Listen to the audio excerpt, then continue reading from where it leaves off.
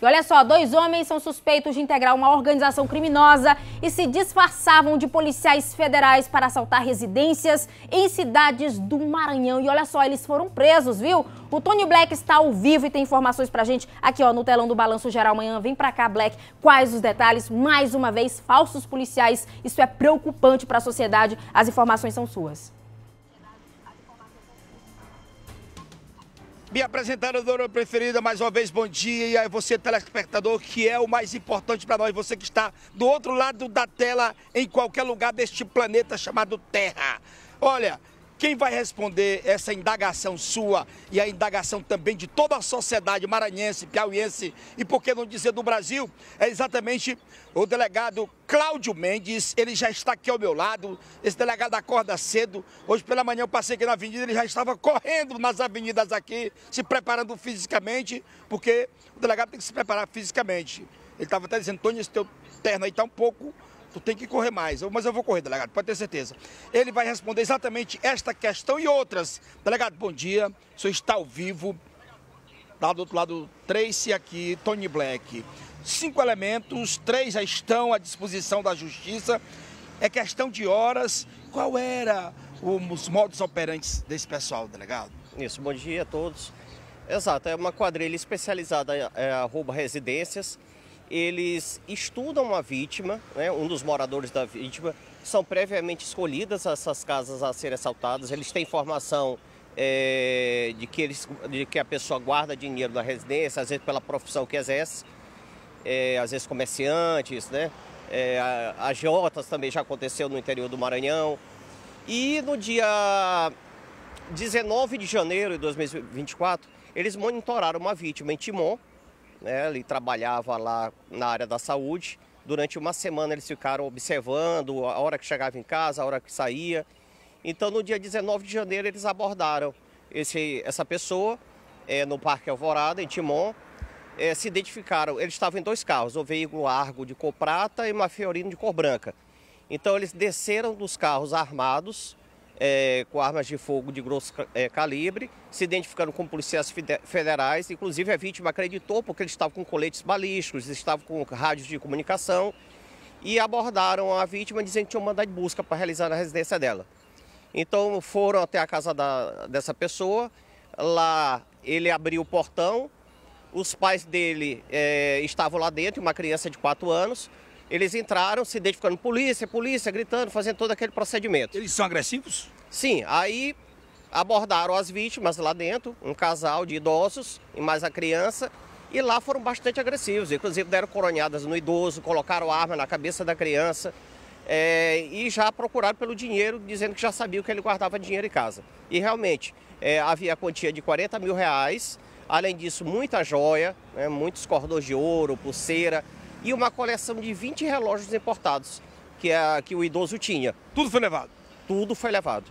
E eles bastante agressivos, inclusive, é, além desses cinco indivíduos, dá a entender que existe uma sexta pessoa, porque eles faziam comunicação no rádio dizendo já conseguimos, já conseguimos, sempre se comunicando. O certo é que fugiram, levaram esse material e a partir daí o segundo DP passou a investigar né, com a equipe de inteligência conseguimos imagem da, da, de um, dos dois veículos, conseguimos a placa de um deles, do Argo, e aí foi fácil. Né?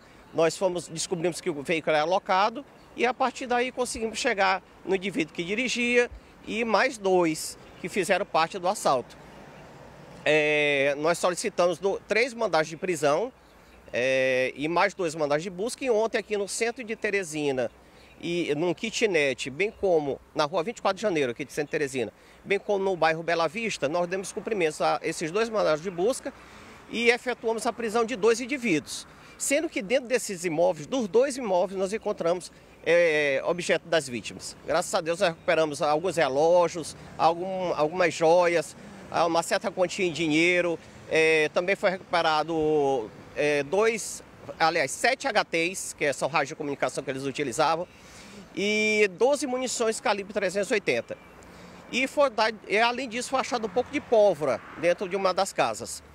E o terceiro indivíduo, ele já estava preso em Parnaíba. Ele foi preso em fevereiro. Nós tínhamos a informação de que ele estava se deslocando para Parnaíba no carnaval.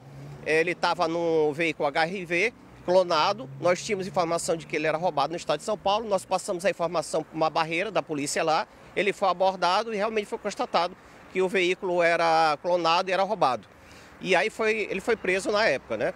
Então ontem nós temos cumprimento também contra esse terceiro indivíduo que já está no presídio lá em Parnaíba. Agora é identificar e tentar identificar esses dois outros elementos que faltam. Agora é interessante, eles também fizeram um assalto é, alguns dias depois que fizeram em Timon, antes de nós efetuarmos as prisões, no, no município de Paraibano. Do mesmo jeito, monitoraram a vítima, depois invadiram a casa, se identificando como policiais federais e e agora nós também estamos investigando ele em outros assaltos à residência em outros interiores.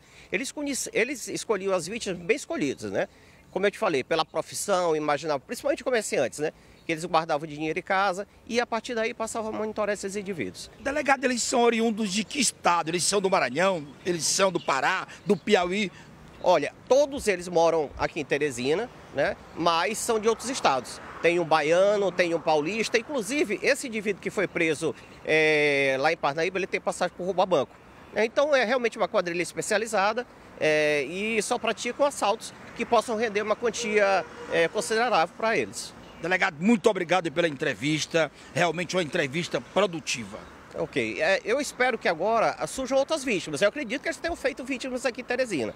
Né? Pessoas que agiram, porque eles sempre agiram da mesma forma. Então, se você foi vítima numa quadrilha, que se, os, eles se identificaram como policiais, possivelmente são esses cinco indivíduos. Tá certo, muito obrigado. E esse delegado é amigo de um dos maiores amigos que eu tenho dentro da Polícia Civil, Robert Lavô. Os dois estudaram, os dois trabalharam juntos no estado do Maranhão. Hoje Lavô pertence à DHPP. Quero mandar aqui um abraço ao delegado Robert Lavô, que todos os dias a gente conversa, todos os dias a gente bate papo. E agora o senhor é mais meu amigo ainda porque é amigo de Robert Lavô. Trace, minha apresentadora preferida, que, que entrevista bacana com o delegado do segundo DP da cidade de Timon, Cláudio Mendes, dando aí informações precisas para toda a sociedade. Você, Tracy. Obrigada, Black, pelas informações. Tá aí, gente. Que investigação bem executada. Você observou como a polícia identificou esses cinco integrantes dessa quadrilha?